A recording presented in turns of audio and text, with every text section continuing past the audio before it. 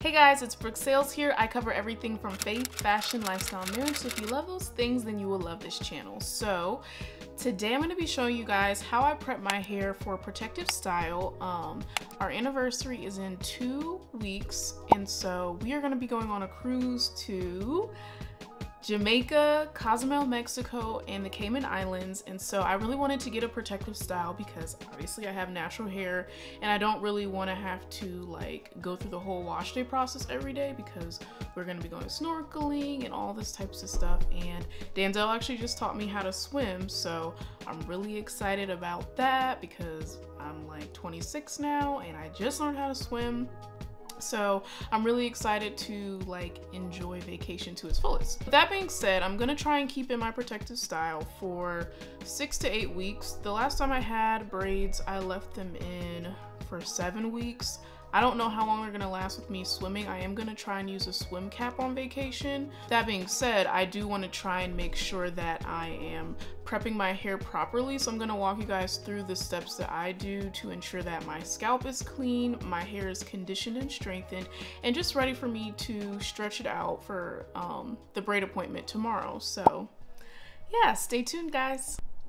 So to start off, I wanted to try out this Taraji P. Henson Never Salty a sugar-based scalp and hair scrub. I've never really done a scalp scrub before, but I keep hearing like all these reviews on like, you need to try exfoliating your scalp. And I'm like, if I'm about to have my hair in a protective style for like almost two months, it's probably the best time is to try and like exfoliate it would be for right now. So I was like, okay, let me give this a try. I think this was like $11.99 at Target. Um, and it does have like menthol in it. So you open it up and it has like these two like applicators here. And it smells like really minty, like just me sniffing it like I'm getting a tingly smell. So I'm assuming you're supposed to do this before you shampoo because I don't want to put sugar on my scalp after I shampoo it because sugar can create yeast growth, if that makes sense. Like that could cause like bacterial growth. So I'm gonna do this and then I'm gonna shampoo. So it says the directions say to um, basically apply to wet hair and rinse well. So I'm just gonna use my little spray bottle here and just wet my hair up. I just got back from the gym, so kind of on my little gym fit right now, but um, hours later. Can you move it along? I'm all out of time cards. This is like I love this Mr. Bottle, but this is like a Saturday, Sunday, Monday, Tuesday, Wednesday. It's a five day braid out. Um, I really didn't go that many places this week. I was actually like sick earlier this week, so I really didn't do much. But yeah, so I guess you just like apply it to the scalp. This is like trial and error, guys. Whoa. Okay. And then you just, I guess. Oh, this feels good. The only way this could feel better is if I was at an actual salon. Like, Oh, yes, ma'am. I always thought this would feel like weird, like you're using a scrub on your scalp, but it makes sense because it's like skin, obviously. So I don't know how thoroughly I can get this like throughout my entire head because like, you know, as black people, like girl, you can't hardly see my scalp, so like, I don't really know, like, you know, I'd probably have to use up a lot of this because it's really thick. But what I will say is this is probably good if you are somebody who loves to lay your edges like every day. Like I lay my edges I don't really lay them that often. So, because when I do my wash and go, I legit like none of my edges are really showing. So I don't really like use a lot of edge control. I've had the same edge control since Christmas around November time. So but I'm like, if you are like putting edge control in your edges every single day, this is probably good to help get that buildup out. Cause I know when I was laying my edges a lot, um, which is like when I'm like wearing like mini twists or like styles like puffs and stuff like that, you know, you can probably like, some people will get like breakouts around their edges just from like product buildup. So this is probably really good to help get all of that out. But I'm liking this. I guess I would have to see like when I get in the shower, like is it tingly? But what I can say is this is very therapeutic, like especially if somebody else was doing this for you. So I'm gonna go ahead and do the rest of this and then I will rinse it out and I'm gonna go ahead, shampoo my hair, and then I will come back to show you guys the next step. Okay guys, so I just got done rinsing out the Never Salty Sugar Scrub and when I tell you, so it had already started tingling a little bit, but when I rinsed it out and started shampooing my hair, it literally felt like a fresh wind on my scalp, like whew. Like it just felt really good, like minty, tingly. And then I shampooed my hair three times. I'm looking a little ashy, ignore that. But I shampooed my hair three times because obviously I'm about to get it in a protective style. So I want my scalp to be clean and everything. But my scalp feels so clean. So the next step in this process is the deep conditioning treatment. Now, usually I do this when I'm in the shower, but for the purposes of this video, and just the easiness of filming it right here, I'm gonna do it right here. So I use the, I'm gonna be using the ApHogee Keratin 2 Minute Reconstructor. Um, I don't do a protein treatment that often because I don't really put heat in my hair. I don't really do that much to like need this that often.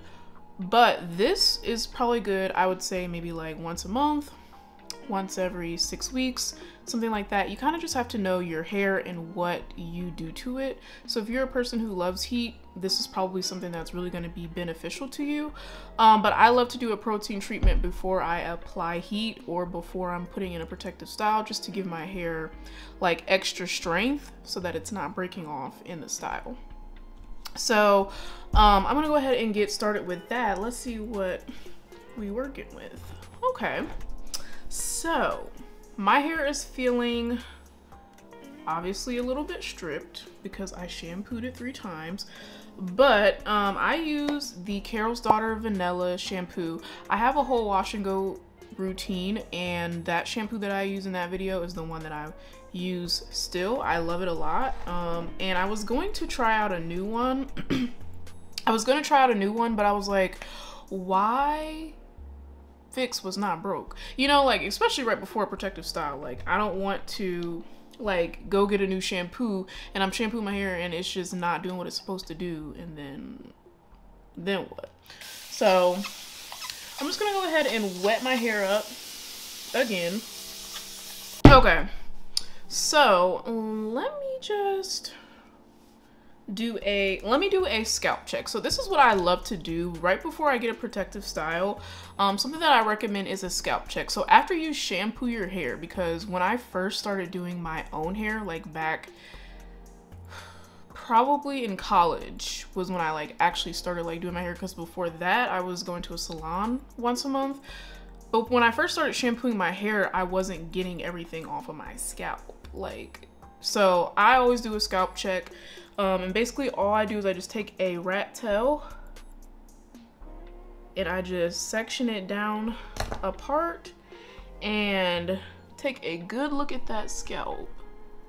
Take a good look. Like you should be able to scratch it and not have nothing coming up off of your fingernails.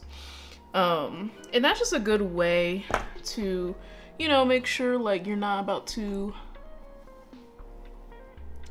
blow dry dirty hair or like you know you got your hair clean. So i like to do that sometimes. Um i've mastered it at this point because that was like nine years ago when i was a freshman in college. That was like 2014 it's now 2023 so i know how to do it now. But um if you're just starting out or if you are about to do a protective style um you know a scalp check might be beneficial just so that you know, you don't get to the blowout process and you're like, my scalp is flaking. So with this conditioner, you're only supposed to leave it in for two minutes. So I'm gonna follow the instructions and I'm gonna hurry up and try and just work this through all of the sections. Look at my chair, poor chair. But um, I'm gonna go ahead and work this through all the sections and then I'm just going to follow directions and leave it in for two minutes. Um, with protein treatments, I don't play that, oh, you know, I'm gonna leave it in for three hours and blah, blah, blah, blah. Like, it's not gonna work after a certain point. It actually might become like counterproductive. So, yeah, I'm gonna go ahead and just lightly detangle real quick. Just get some of the shed hair out because there's a little bit of shed hair in my hair right now. I'm noticing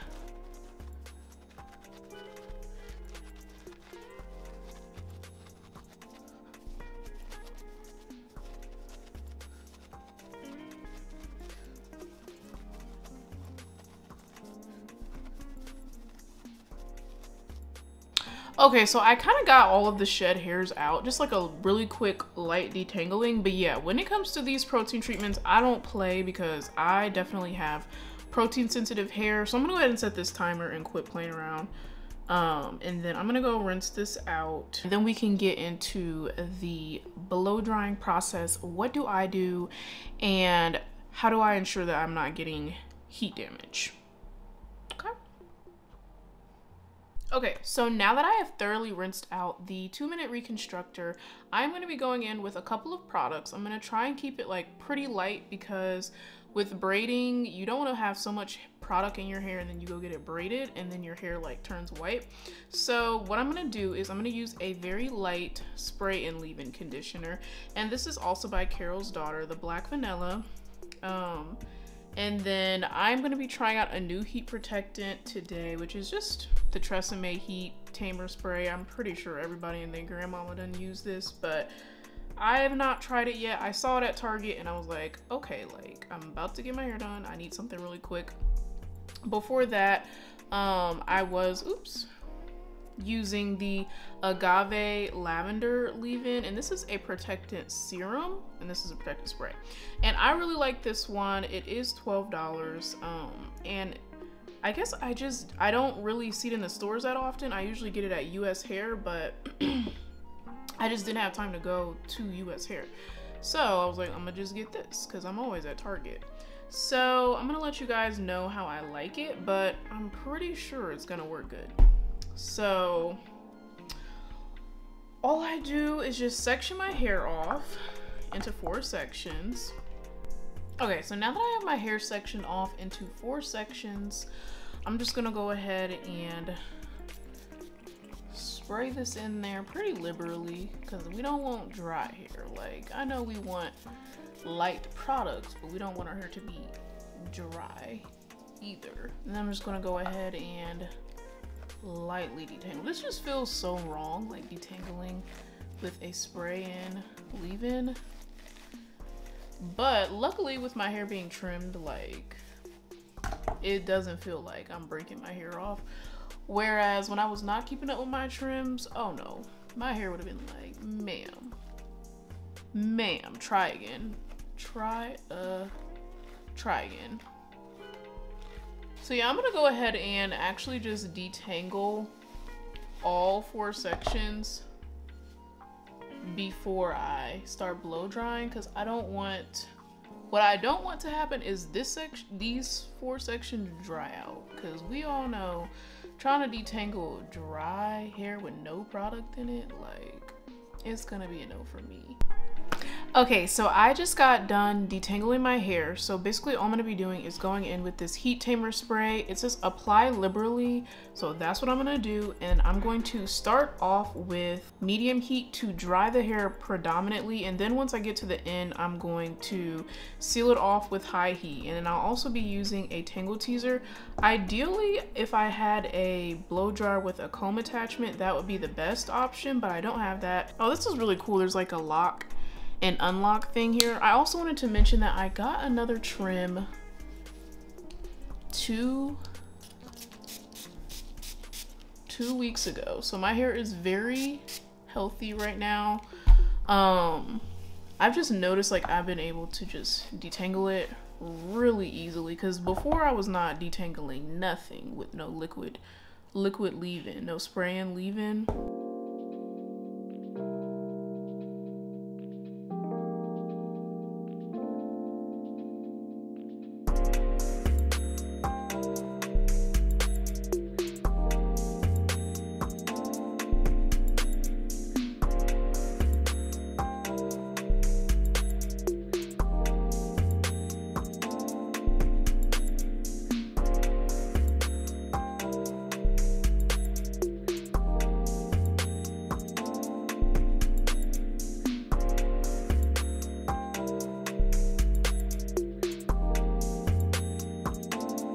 Okay, so now all of my hair has been blown out and it is currently 1029.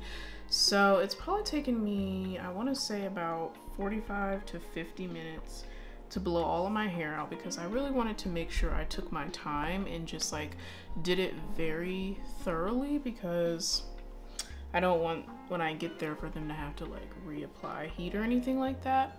But I don't know if you guys have seen like my first video where I was showing you guys how to do my mini twists versus this video, but like my hair just looks so much more like shapely and like even.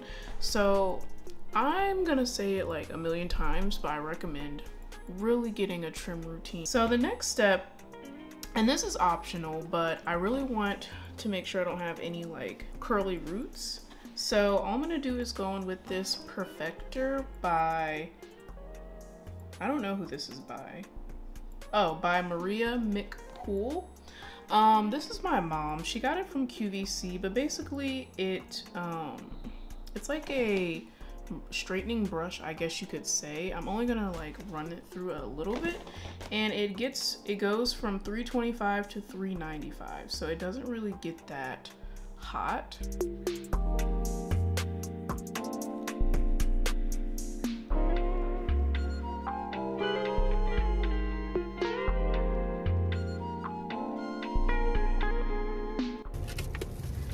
Okay guys, so it is now the morning and I just stopped by the gas station and got my little thing on, try not to like be out here exposing myself. But I just got some snacks because it's gonna be like 8 to 4 is what the calendar invite says. So I got this Slim Jim spicy. Um, I got this Lenny's and Larry's cookie. Um, it's, these are like really good. They have like 16 grams of protein. Um, how many calories? It's like 440, so it's a really good snack for if you can't like get somewhere to eat something. And then I got some plantain chips as well, just just for like something like starchy but still not unhealthy. So those are like my little snack options. And then I also got these corn nuts um, they're cheesy with the Z because I have a dairy allergy. And then also I just have this Body Armor Lyte. My husband got me those two snacks a couple of days ago. So I was like, well, I didn't eat them yet, so I might as well just throw them into my little snack bag. But um, I just got a text. My braider is running like 15 minutes behind, which is actually perfect for me because um, it's like 7.37 and the braid place is like I want to say like 25 minutes away so I'm just gonna be heading over that way and then I will meet you guys when I get there. So see you guys soon. Okay guys so I made it here. I am currently just in the bathroom. But this is a little OOTD got on this like comfy matching set some Steve Maddens and my hood still so I don't get exposed. I'm not exposed, but super excited.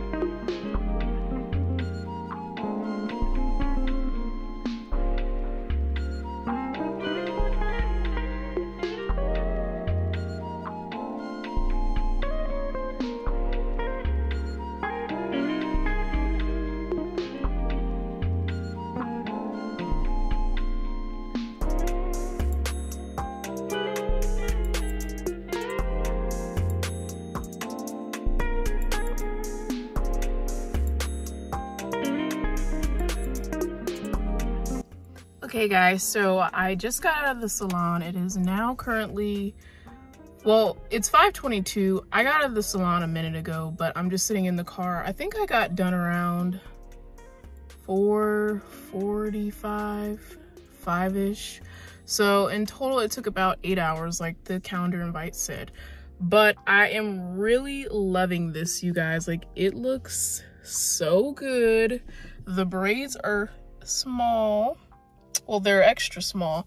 Last year I got them small, but I wanted them extra small this year because, um, you know, we're going to be going swimming and stuff like that. So I didn't want them like too big so my hair doesn't curl out of them. But I am really feeling this. I feel like it I don't know. I'm just really feeling like it's giving the vacation vibe. So um, when I get home, I will give you guys like a full body shot of what the hair looks like. But yeah, so far I am very, very happy. So hey guys, it is officially been like five days. So yeah, this is what the hair is looking like. Still looking very fresh. Um, this is what it looks like from the back. She did such an amazing job and it's the exact length that I wanted. I've never, I don't think I've ever had it this long before, but I feel like for vacation, I really wanted something a little bit more long and fun. So this is the final look. She uses 100% human hair on her curly pieces, which is really good because the hair is not matting and tangling up from what I've heard from other people. So I definitely recommend her if you are in the Columbus area. Um, her name is Sarai.